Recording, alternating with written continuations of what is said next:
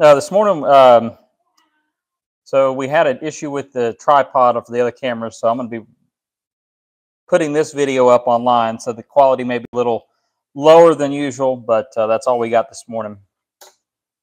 Um, this morning, we're going to be doing a starting a verse by verse series in the book of Proverbs. So it's going to take us a little while, but we're going to cover a lot of different things. If you want to go ahead and turn your your Bibles to Proverbs chapter 1. It's going to take us a while, but we're going to cover a wide variety of different topics and um, bounce back and forth all throughout the scriptures because it's going to reference back to different passages to give us second witnesses.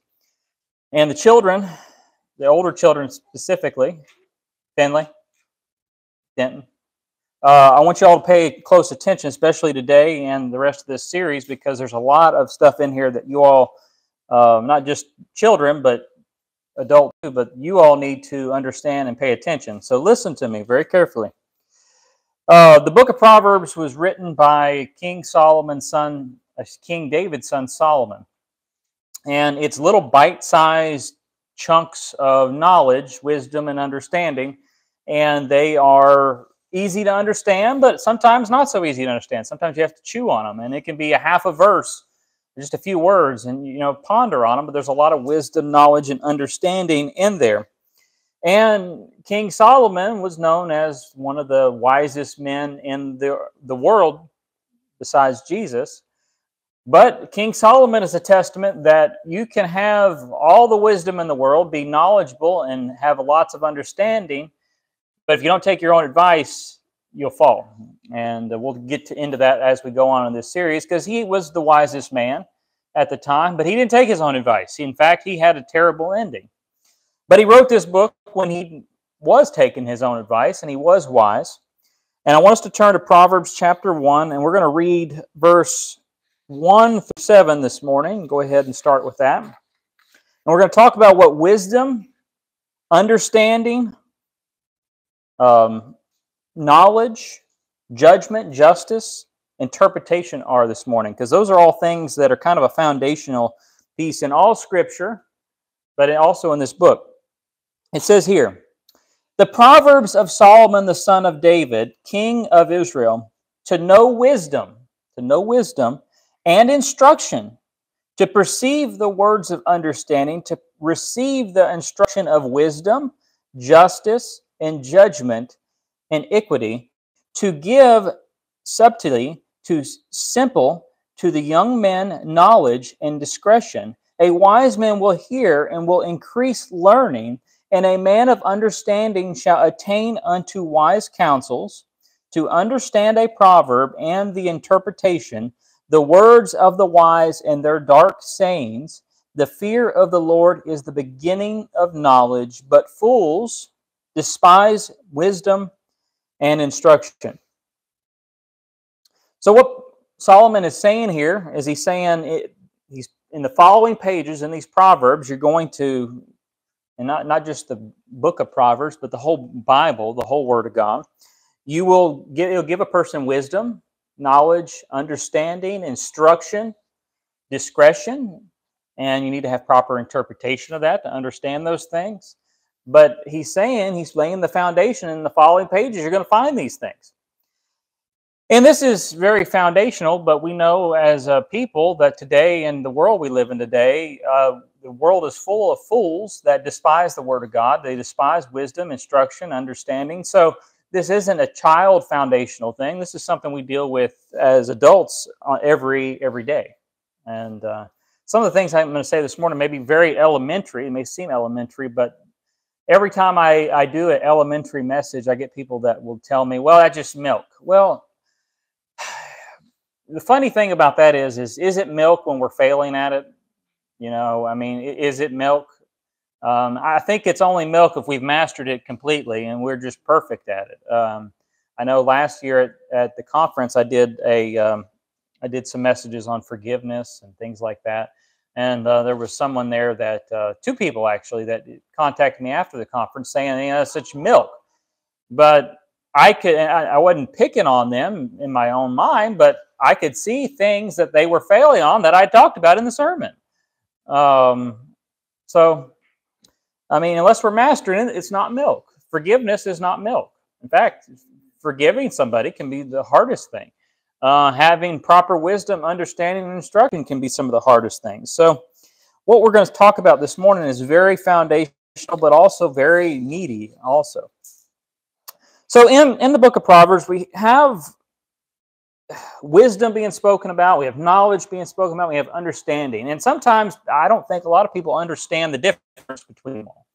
They kind of lump them all into together, but there's actually big differences. Children, I want you to understand this especially what wisdom, knowledge, and understanding is, particularly, and we'll get into all the other ones here momentarily. But I want to give you a definition of knowledge, and I want you to think about it, ponder on it. This is what Noah Webster in his 1828 dictionary said on knowledge. Quote, a clear and certain perception of that which exists, or of true in fact, the perception of the connection and agreement or disagreement or repugnancies of our ideas. We can have no knowledge of that which does not exist. God has a perfect knowledge of all his works. Human knowledge is very limited and is mostly gained by observation and experience. So, knowledge is facts, uh, knowledge is truth. Um, we understand that honeybees make what? Honey. Okay. That is knowledge. There was some point in history that man did not know that. That was a fact that they did not know. They had to find out the hard way, I imagine. Uh, some guy that was very curious, went and dug around in a beehive and found out that stuff tasted really good. That was knowledge, uh, just like with certain plants. You know, who was the first guy to figure out that uh, hemlock was poisonous? Or all the other poisonous plants. Uh, I'm sure there was some guy that tried to eat poison ivy at one point or another. In fact, I've, I've known people that said they'd done that, but uh, that's knowledge to know that's a bad idea. Um, we understand papers made out of what, children? Wood? Okay, that's knowledge on how we, man obtained knowledge on how to make paper from wood, wood pulp. It took a man to think about how to take wood, chop it up, make it into a pulp, and then make paper out of it. That's knowledge, it's facts. And we know that God made a covenant with Abraham, Isaac, and Jacob. And we know that that covenant's still here today. That's knowledge. That's a fact. That's something that we know. And we know that Jesus died for our what? Okay, that's knowledge. That's things that we we we know. We know for a fact. We we read that in scripture and we understand it. What about wisdom? What's wisdom? Let me give you a definition of wisdom here. Uh, from Noah Webster. It says here, quote, the right, right use or exercise of knowledge, the choice of laudable ends and of the best means to accomplish them. This is wisdom in act, effect, and practice. If wisdom is to be considered as a, a faculty of mind, it is the faculty of discerning or judging what is most just, proper, and useful. If it is to be considered as an acquirement, it is the knowledge and use of what is best, most just, most proper, most conductive to properly uh, to prosperity or happiness. Wisdom in the first sense or practical wisdom is nearly synonymous with discernment. If differ, it differs somewhat from prejudice, uh, excuse me, from prudence in this respect, prudence is the exercise of sound judgment in avoiding evils or bad things. Wisdom is the exercise of sound judgment either in avoiding evils or attempting good. End quote. So to sum all those words up, wisdom is the proper use of knowledge. Now think about that for a minute. If you have knowledge that paper comes from trees, Wisdom would be properly using the paper, having the wisdom and the discernment and the judgment in order and how to make that happen. Now, we have a lot of knowledge, each and each of us here. Uh, some, sometimes they call it useful knowledge on how things are made, uh, how things come about, but we don't have the wisdom to do those things. You know, I can tell you, I have the knowledge of how a plane flies, you know, jet engine and the engine, you put jet fuel in it, you fire it up, or if it's even a, it has a propeller, you you spin the propeller fast enough to give it lift. I have the knowledge of that, but I could not build you an airplane. I don't have the wisdom to build an airplane. Um, and there's so many different applications to that that we can uh, put that to. If we have the knowledge of the Abrahamic covenant and who it was made with, and we have the knowledge of the new covenant and who it was made with, then we have the wisdom of who it was made with through understanding Scripture. Actually, that's a little bit of knowledge too. You know, you, you can know the, that the covenant exists. You can know who it's made with. So that's more knowledge than wisdom. Wisdom would be properly using that. So let's look at it this way. If we're in the new covenant, and we know that, and we are, wisdom would be properly living our lives according to the new covenant, be properly using that knowledge. Um, another example if we have the knowledge that transgression of God's law back in the Old Testament were bad for Israel, and that sin in general is bad. I mean, all sin across the board. But we don't have the wisdom to realize that that sin today affects us. In knowledge, too, wisdom and knowledge. If we don't have the wisdom and knowledge to properly know that that sin applies to us today, then we're lack of both of those things. We're lack of the knowledge of knowing that it does apply to us, and we're lack of wisdom to know that it applies to us and how it properly is used. Does that make sense? So, what about understanding? What is understanding? Uh, Noah Webster defines it as this quote, the faculty of the human mind by which it apprehends the real state of things presented to it, or by which it receives or comprehends the ideas which others express and intend to communicate. The understanding is called also the intellectual fa faculty. It is the faculty by means which by means of which we obtain a great part of our knowledge. And this is kind of a more in-depth part of knowledge. You have knowledge, but understanding is knowing how something works. You know, we can have the knowledge that bees make honey, but understanding is knowing how they make honey, how they go out and they gather nectar, not nectar, but the uh, the pollen, and they come back and they make nectar. They go and collect water, and that's part of the process. Understanding is knowing how that happens. Um, another example.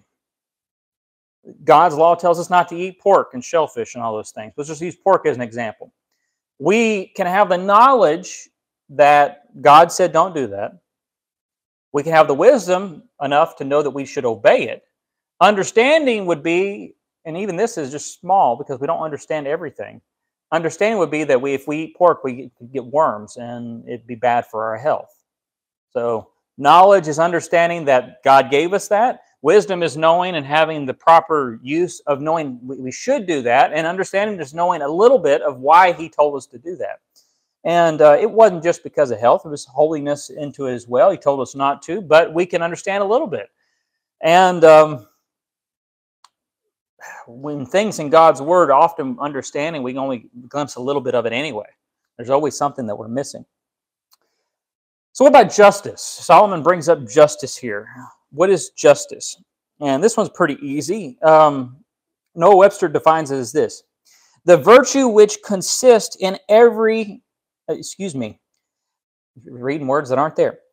The virtue which consists in giving to everyone what is his due. Now, obviously, this is in contrast or in combination with God's law. We're talking about justice in God's law, God's word, since that's what we're reading in the Bible. So, the virtue, justice is the virtue which consists in giving to everyone which is his due according to God's law, is something that we could add in there. That is God's law and God's justice. Is if you are due something, you're due it because that is justice. If you are due something and you don't get that, that is not justice. That is injustice. Um, for example, if God's law says murderers should be put to death after they murder somebody, is that injustice or justice? That's justice because they should be put to death. That's what God's law says. Now, we cannot like that all we want. But if we, you know, I often hear people say, when they're against the death penalty. They may be Christians, they may go, carry their Bible every Sunday to church, and they may believe in the Ten Commandments and everything like that. But sometimes they'll have a family member, and I've heard this several times, that murdered somebody.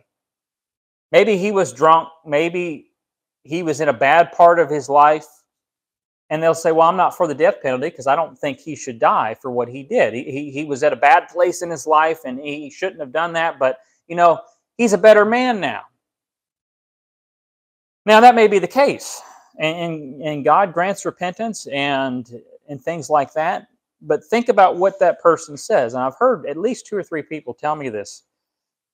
They're saying that I am in favor of injustice against God's word because I feel in my heart that that person shouldn't die. But justice is saying they should die according to a biblically governing society, obviously, not a vigilante type instance. But I mean, the death penalty would be applied to that. You know, if someone comes along and says, no, God's law is wrong, I want to do it this way, that's injustice. It's not justice. That person is due to die if they murder somebody. And it doesn't even matter if they were, what the circumstances. If they murdered, not manslaughter or accidental, but if they murder somebody, they should die. And I think there's lots of implications on why you do that. Um, I, I, think we could get into that at some other time. But I think it's not good to let murderers just continue going in society and continuing and continue reproducing. Uh, it, it's bad. We see it today all the time, and not just murder, all kinds of different crimes against God's law. Okay, what about judgment? Um, the act of judging. Now, this is a big one because most Christians say, well, "Thou shalt not judge." You know, judge not, lest you be judged. But here, I mean, Solomon is bringing up judgment. He says here in verse 3 to receive the instruction of the wisdom, justice, and judgment. So here, this, what is judgment? And if we shouldn't judge, then why is he even bringing it up? Now, it's impossible not to judge. We judge when we get in the, uh, up in the morning. We judge when we go to the bathroom. We judge on what street we're going to turn on. It's absolutely stupid when someone says you shouldn't judge. We judge every single day. I mean, if someone were to walk in here this morning with whiskey on their breath, we would make we'd be making a judgment in our mind, saying, "Hey, that guy smells like whiskey." I'll bet it's awful early in the morning. That's a judgment, is it not? That is a judgment that people make. Uh, we make it all the time.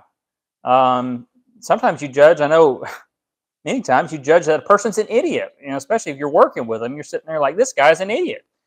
Uh, I'm making the judgment that I may not want to be around him very often. May be bad for my health, which we'll talk about that here in a moment when it comes to hanging around with people that you shouldn't. But um, that is a judgment we make. Judging is not bad. Now, judging in an unjust way is wrong. I mean, we got to be careful how we judge other people. We have to judge in a just way.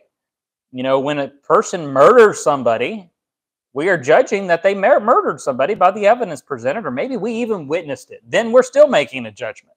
It's impossible not to make judgments. But Noah Webster defines the act of judging this way to compare facts or ideas and perceive their agreement or disagreement and thus to distinguish truth from falsehood.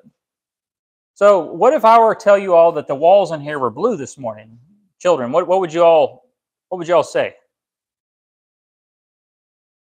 Okay, well, I would be judging that you're wrong too, because the walls aren't white; they're brown. I said. I said the walls, not the ceiling. See, we both judged, and we and we. Eh, Now, if I were to say they were blue, and you always say no, I, I'm I, I'm I'm comparing the facts and ideas and perceiving their agreement and disagreement, and thus to distinguish truth from falsehood, I'm saying that they're brown.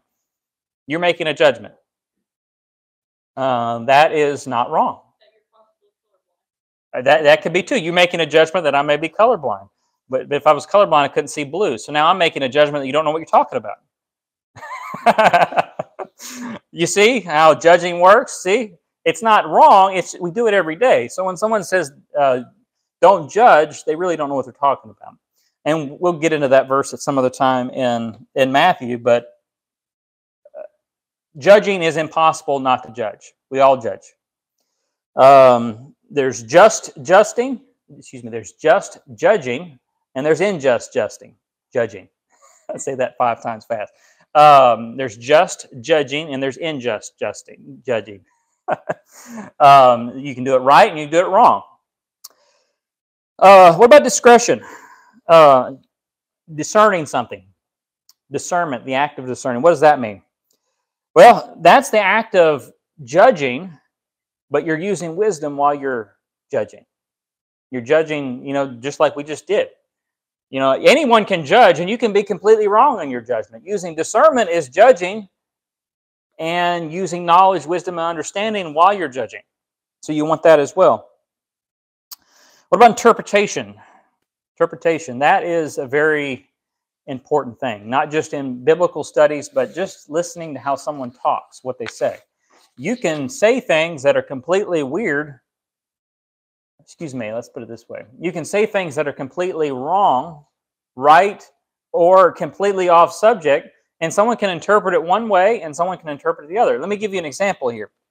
Um, I won't point it out, but uh, at our last conference last year, we had one man preach a sermon, and I had three different people tell me what he preached about, and they were all completely different. All three people, uh, families, it was complete families, interpreted what he was saying differently. That is interpretation. Now, somebody's wrong, obviously, but they interpret it differently. And a lot of times it's because people aren't clear or whatever it may be, or they're not listening. Now, sometimes people will say something, you'll say have a complete sentence, and they'll only listen to half of what you said, like Finley does sometimes. and uh, then they only pick a word here or there, and then they're like, What do you mean? So I want to give you an example of how Solomon used wisdom in 1 Kings chapter 3, verse 16. 1 Kings chapter 3, verse 16. And in this story here, he used wisdom, he used knowledge, and he used understanding. And this is one that is well known here. I was going to use Saxon as a demonstration this morning, but Cassie wouldn't let me uh, for this passage. Let's use verse 16 through 28 to read the. It says here. Then came there two women. There were harlots unto the king, and stood before him. And the one woman said, O Lord, I and this woman dwell in one house. And I was delivered of a child with her in the house. And it came to pass the third day after that I was delivered that the woman was delivered also. And we were together. And there was no stranger with, with us in the house, save we two in the house. And this woman's child died in the night because she overlaid it, or she laid on him. She rolled over on the baby. And she arose at midnight and took my son from beside me while thine handmaid slept and laid it in her bosom and laid her dead child in my bosom. And whom I rose in the morning to give my child suck, behold, it was dead. But when I had considered it in the morning, behold, it was not my son, which I did bear. And the woman, other woman said, Nigh, but the living is my son, and the dead is thy son. And this is said, No, but the son is thy, excuse me, but the dead is thy son, and the living is my son. Thus they spake before the king, and then said the king, The one saith, This is my son that liveth, and thy son is dead. And the other saith, Nay, but the son, thy son is dead, and thy, my son is living. And the king said, Bring me a sword. And they brought a sword before the king. And the king said, Divide the living child in two, and give half to one and half to the other. And then spake the woman whose the living child was unto the king, for her bowels yearned upon her son. And she said, O my lord, give her the living child, and no wise slay it. But the other said, Let it be neither mine nor thine, but divide it. And then the king answered and said, Give her the living child, and in no wise slay, slay it.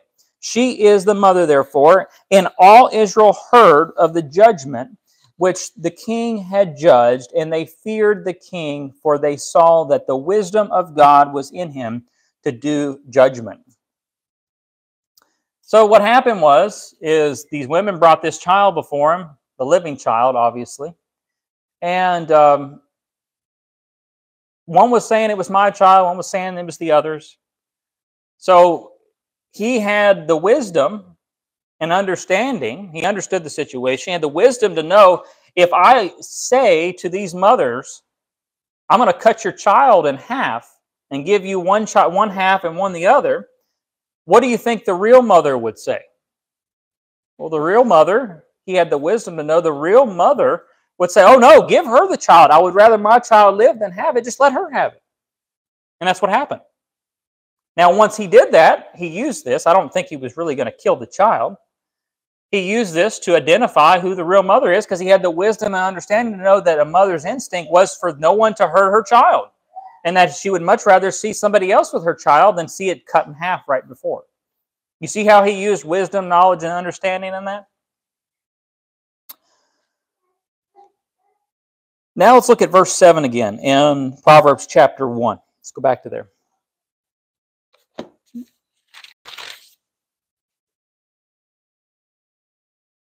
It says here, the fear of the Lord is the beginning of knowledge, but fools despise wisdom and understanding. Excuse me, wisdom and instruction. The Brenton Septuagint puts it this way The fear of the Lord is the beginning of wisdom, and there is good understanding to all that precise it. Excuse me, practice it. And, and pity towards God is in the excuse me, and piety towards God is the beginning of discernment. But the ungodly will set at naught wisdom and instruction. Let's read that again since I botched it up a little bit. The fear of God is the beginning of wisdom, and there is good understanding to all that practice it. And piety towards God is the beginning of discernment. But the ungodly will set at naught wisdom and instruction. Um, I find that the Brenton Septuagint and the Septuagint in general expand upon the the Proverbs a little bit more than the King James, and we're going to go through that as we go along. But to me, that makes a whole lot more sense, and it expands it more than just the King James. the The word fear here means reverence, to reverence someone, and it is commanded for us to reverence God, to fear God. Now, oftentimes, fear isn't the best word for that, but other times it is. We should fear God. We should fear His judgment. We should fear His um, what we do when we don't obey Him, and then we should reverence Him in that way. And Noah Webster defines reverence as this way. This is what we should do to God, and it says here, according to the proverb, that uh, we should um, fear God, and it is the beginning of knowledge. So we can't even begin to know knowledge. We can't even begin to understand knowledge, wisdom, and understanding, instruction, unless we fear God. And we see that today. There's a lot of people that are what we call book smart. You know, they may know facts and things like that, but they're really idiots. They have no knowledge, wisdom, and understanding in reality. That they just don't get it. And a lot of that, I think, stems back to them not fearing and reverencing God. Because if you fear and reverence God, what do you do? You keep His commandments. You obey Him. If you keep His commandments and you obey Him, you're you're you're doing wise things. You you're wise. You're doing things that are knowledgeable too, because you can't have wisdom and knowledge. You can't have knowledge without having wisdom. Excuse me. You can't have wisdom without having knowledge. I'm just getting it all backwards this morning. So I want to read this quote here. the fear acceptable to God is a fear and awful reverence of the divine nature proceeding from a just esteem of his perfection, which produces in us an inclination to his service and an unwillingness to offend him. Let's read that last part again this, this act of reverence, which produces in us an inclination, a desire to his service, and an unwillingness to offend him. So, reverence and fear of God pulls us into his service. We want to do good, we want to obey him, we want to love him. You love me, you keep my commandments. Uh, we want to do that. And the act of offending him or disobeying him is something that we don't want to do. We don't want to do that. We want to stray away from that. We want to try to get away from it as far as we can. We want to make sure that we're doing good. That is the act of reverence, the act of fear of God, is doing what God wants us to do and and not wanting to offend him. Can you can you understand how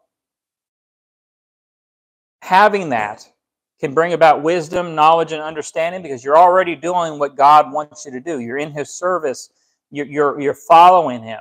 So I think that's what Solomon is, is pointing to is that if you're reverencing God, you're obeying God. If you're obeying God, you have knowledge, wisdom, and understanding because you're doing all these things. You're reading His Word. You're understanding the Proverbs. And he he says here that the fool despises wisdom. He despises it. He didn't want to have anything to do with it. He despises instruction, obviously godly instruction. And that here is what we see the opposite in our society today. We see fools that absolutely despise God's word, they despise instruction. And um, that's how our society is so bad today, how the world is so bad. So, this is the good end of it. And we, as Christian Israelites, we it's built into us to love truth, to find truth and knowledge, and we do that through um, following God's word. Now let's look at verse 8. Verse 8, Proverbs chapter 1, verse 8. It says here, My son, hear the instruction of thy father, and forsake not the law of my, thy mother. End quote. Now, here Solomon is giving reference to obeying your parents, children to obey their parents and and listening to their instructions. Children, are you paying attention? Solomon here is saying that God is, excuse me, that we should obey and listen to the instruction and law of our mother and our father. That's harkening back to the fifth commandment honor thy father and thy mother. The Brenton Septuagint says it this way Hear, my son, the instruction of thy father, and reject not the rules of thy mother. Now, obviously, this can't be a limit. Uh, this can't be taken by itself with what we just read before.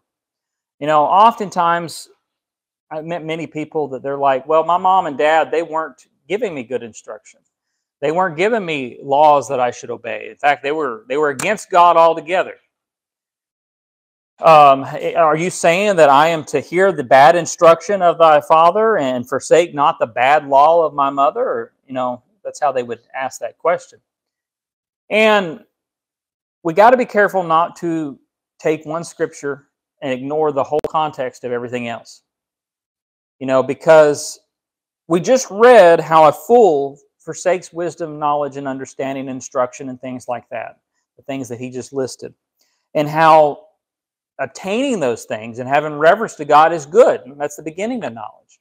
So obviously, if you have a parent that is they don't reverence the Lord, let's say they don't have godly knowledge, they're going to give you bad instructions.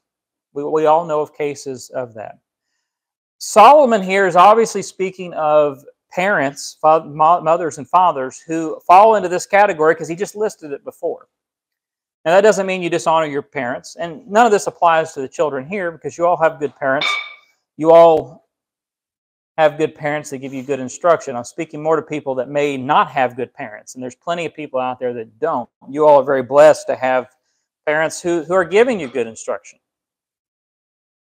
So we just want to remember that we got to look at every scripture in the context of all scripture. We can't cherry pick it. Let's look at verse 9 now. For they shall be an ornament of grace unto your head and chains about thy neck. Now, you don't literally put the instructions of your mom and dad around chains around your neck, but figuratively you do. When your mother and father give you a good instruction, you want it to be seen. You want it to be where everybody can see it, much like a necklace around your neck or, or something on your forehead. And uh, that means you obey. You obey and do. And this harkens back to being good children that obey your mom and dad and, and do what God wants you to do. That way, when others see you, they see it like a necklace around your neck or an ornament. And when they do that, it's an example to others. They pay attention. They're like, why is that kid different than all the others?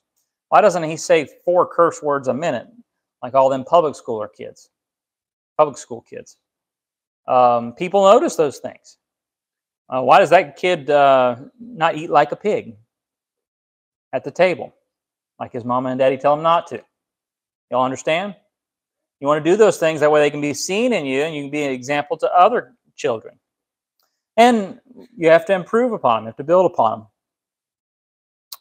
Now let's look at verse 10 through 19. We're going to read the whole section here and then we're going to end for the day and we'll pick back up next week. My son, if sinners entice thee, consent thou not.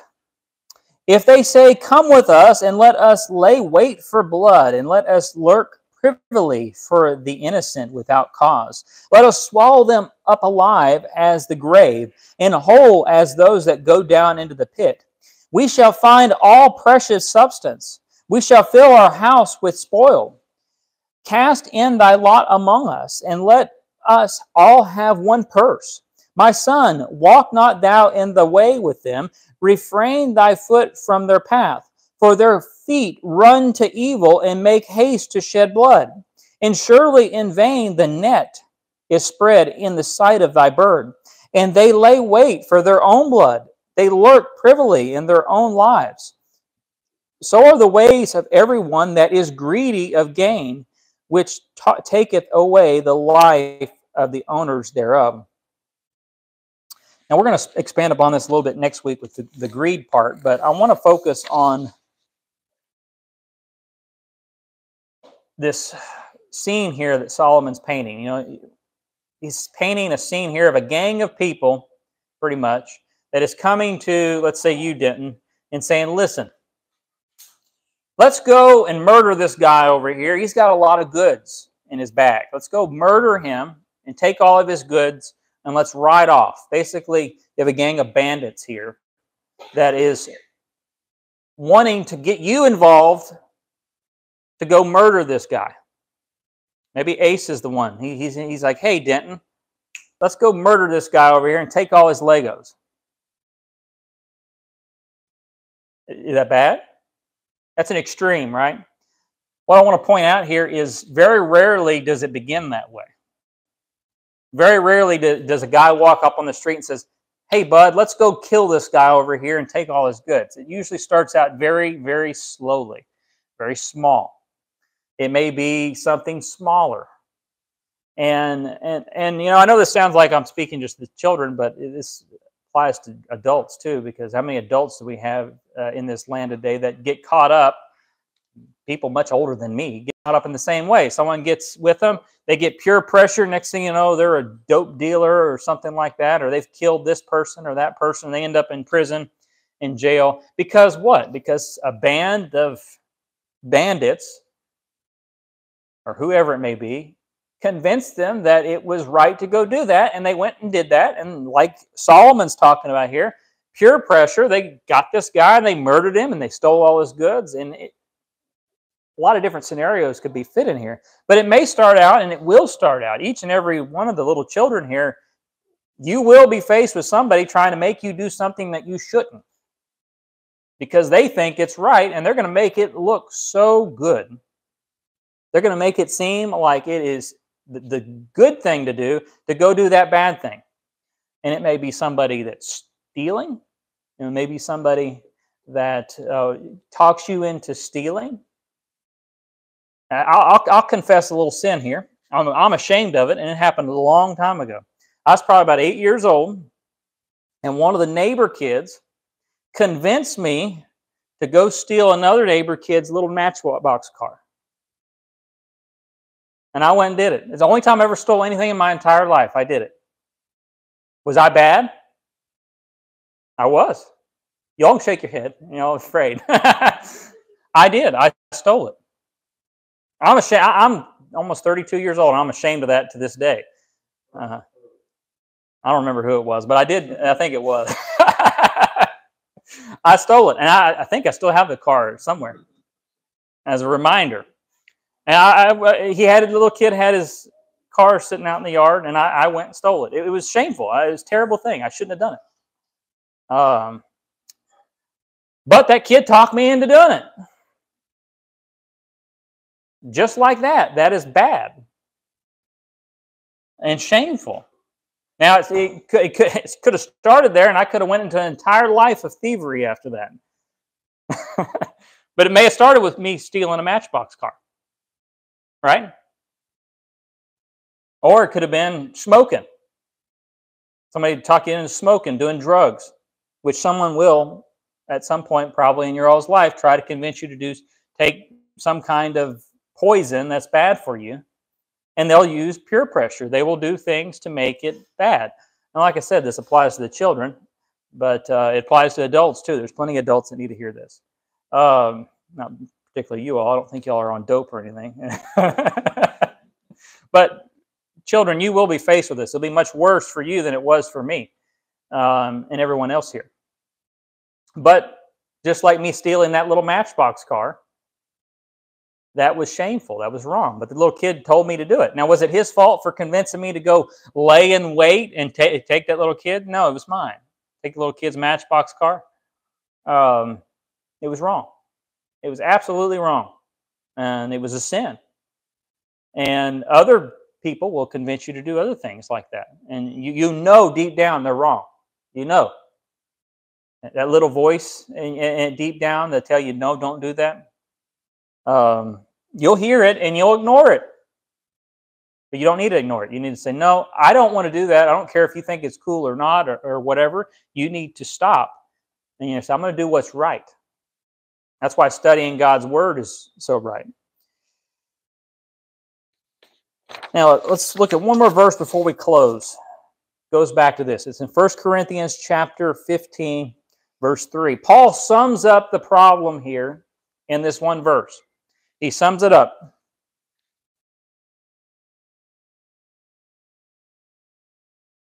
It says here, I'm going to read out the New American Standard because it's a little clearer. Do not be deceived. Means do not be fooled, don't be wrong, don't be tricked into thinking something else. Do not be deceived.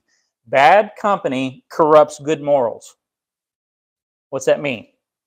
A bad person it will corrupt a good person. Now, oftentimes in life, we think, in, especially in churchianity today, we think the opposite. We think good people will corrupt bad people, right? Corrupt them to the good. That's not what the Bible says. It says bad company corrupts good morals. Now, I'm not saying a person can't turn when they see the good in a person and say, hey, I want to do that. My life's a mess. But more times than not, the bad will come in and corrupt the good. How many of you have heard one, one bad apple will corrupt the whole bunch, the whole barrel? How many of y'all seen a bowl of apples in the fridge with one bad apple in it and it, it makes more of them go bad? Children? Yeah, paid attention? Yeah, I get it. but you have one bad apple, one rotten apple will make all the other ones go bad. That's a biblical principle because Paul here saying, don't be deceived. Bad company, bad people, people you shouldn't be hanging around, shouldn't have in your company, will corrupt you and make you do bad things. Just like Solomon's talking about here in Proverbs. When he says, My son, if sinners, if transgressors of God's law entice thee, consent thou not. We can just forget the whole skin and blood part and just focus in on verse 10.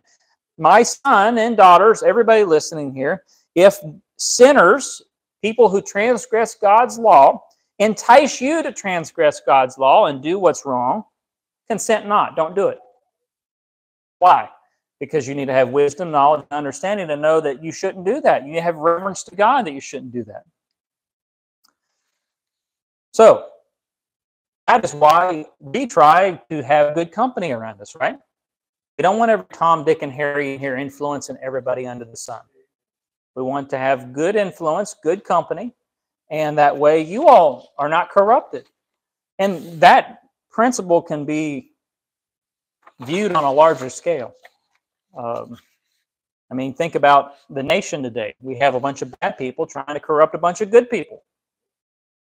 And sometimes may not seem like it seem like there's a bunch of good people, but that's how it works. So let's go ahead and bow our heads and pray. That's all I got this morning. Next week, we're going to talk, we'll start back up there, verse, uh, we're going to go over the same passage we just read. We're going to talk about greed, and we'll continue on to the next book, the rest of the book.